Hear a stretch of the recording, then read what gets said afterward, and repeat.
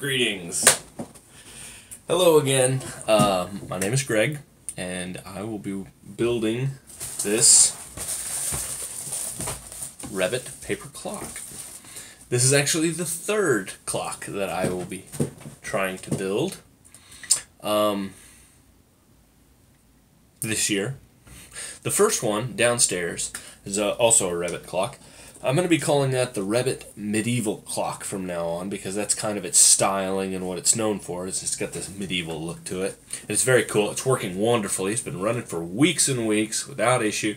I've made numerous modifications and improvements to it, all unnecessary, but I like it. I you know can't keep my hands off the thing. It's so fun to, to play with.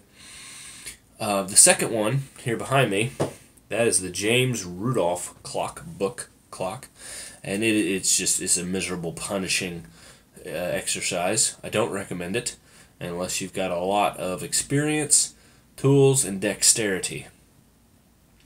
Um, the only way I'm ever going to get this one back here to run is if I replace the main gear with a new set of gears that I I found a, a thing online, a gear template generator. I'm thinking of possibly printing out some new gears and making them from scratch because the gears that it has you make in there, there's no way that you can fold paper to make them as precise as they need to be. So I'm thinking of cutting some out of wood. But that'll be a project for another day because today my new Wrebbit clock has arrived. Um, reading through some of its literature, it seems like this is actually the first model that they put out, and maybe the medieval clock is possibly the second or last. I'm not sure. Um, this one is uh, noticeably different. I'm going to call this one the Peace Tower clock because this clock is a replica of a clock uh, at the main entrance of Parliament Hill in Ottawa, the capital of Canada. Peace Tower clock. PT clock. So this one's really cool. It's got these neat Roman numerals around the face. It's nice and round and open and airy. You can see inside it easily. But something I've noticed right away after opening this thing is that it involves a lot more folded paper. The components that have come with it are significantly thinner than the medieval clock. There are no thick cardboard sections to give it rigidity. So it's all going to be glue and clamping and folding and making tubes out of the paper. I'm excited to get into it, but I know better than to just dive right in. I'm going to read this entire manual front to back before I cut out anything. Um, little bit of history with me in this particular clock already, and I haven't even started on it. I bought it on eBay for about 50 bucks. And the first one I bought uh, is lost no idea where it was. It was supposed to be delivered a week ago, and the delivery date came and went, and the tracking went offline, and now nobody knows where it is. I went to USPS, and they were completely unhelpful in every way. They don't know where the package is, where it's going, where it's been. They can't tell you how long it's going to spend in uh, how long it's going to spend in delivery between one destination and another. They can't tell you where it's going, like which distribution centers. They really have no idea. It's as big a surprise to them as it is to me. So I presume, I assume that the clock, the first clock I ordered, is sitting next to the Ark of the Covenant, wherever that is. So I bought another one. Here it is. A priceless limited item that is no longer in production, and USPS lost it. Great.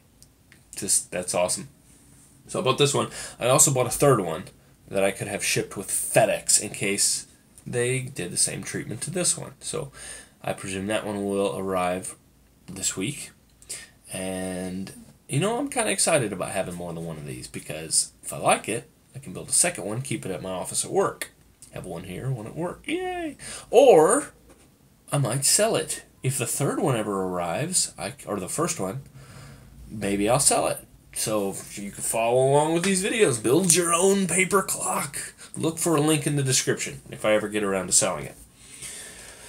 All right. Anything else to say about this before we dive right in? Oh, so when I first opened the box, it came with this manual. It came with all the components. It came with uh, an addendum with some additional instructions, and it came with this.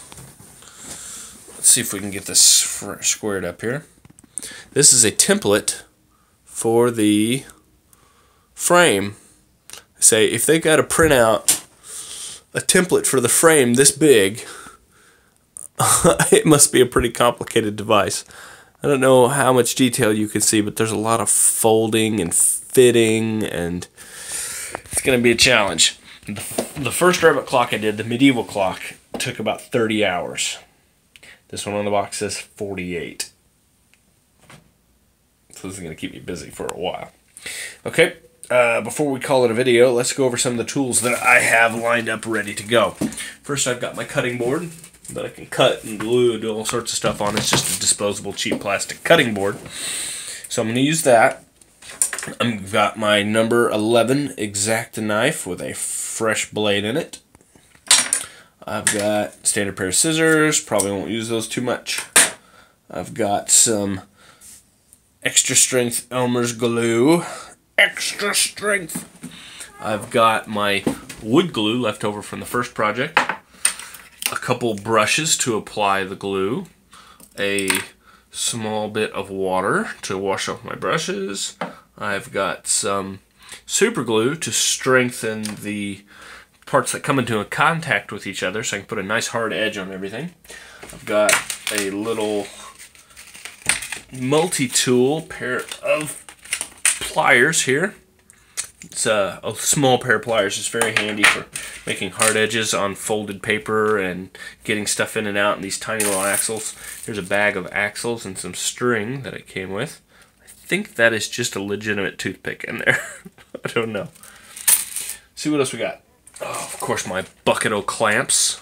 Lots of little bitty clamps, alligator clips, clothespins, you name it. They're my big clamps. What else we got? Got my lubrication stuff.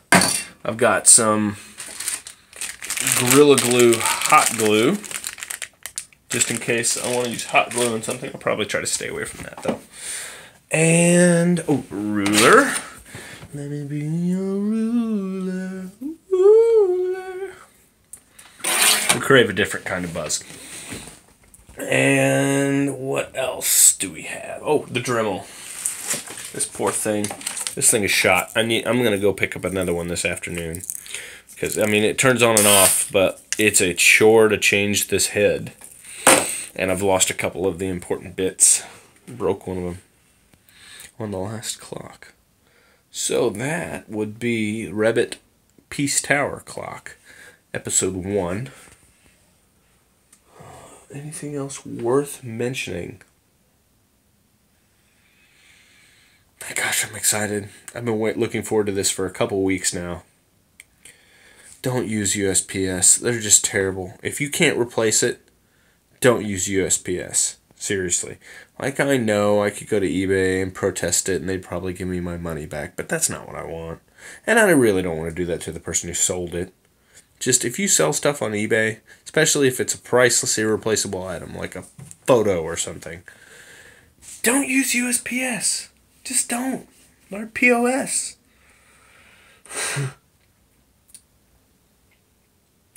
clocks and clocks and clocks and clocks. I have nothing else to say at the moment. Thanks for tracking with me. That'll be episode one of the Peace Tower Clock.